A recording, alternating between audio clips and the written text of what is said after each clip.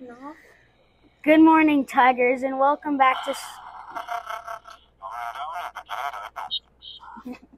welcome back to school. Today is September 5th. My name is Sven. And my name is Emma, and we're excited to bring you today's school news. Today is National Pizza Day. For lunch today, we are having pizza, PBJ, or yogurt.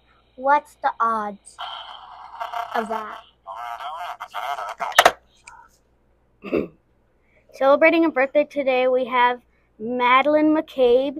Celebrating uh, a, oh, bir- over the weekend, we have Brinley Ol- Olson, Everly Escobedo, Aliana Gomez, and Brooks Gardner. Please come up to the front office to claim your birthday pencil.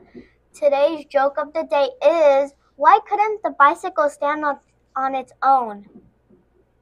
Because it was too tired.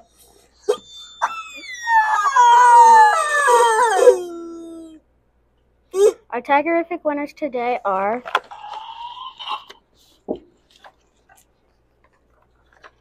um Lily M in Miss Jones' class for all her paws.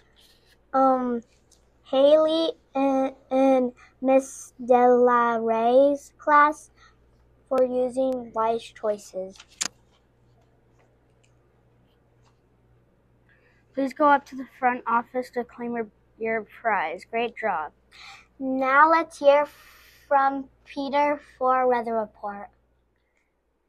Hello, Tigers. I'm on an African safari today. My name is Peter, and today's weather is a high of 108 degrees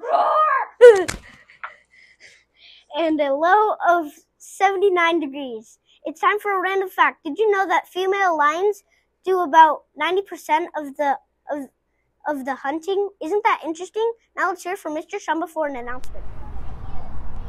All right, Tigers, let's remind ourselves how capable we are today. Take a deep breath and repeat after me. I am ready. I am loved. I am respectful. If someone forgot to tell you they love you this morning, let us be the first to say that we love you. Have a great day. Thank you for tuning in to Tiger Town News. Have a great day go Tigers!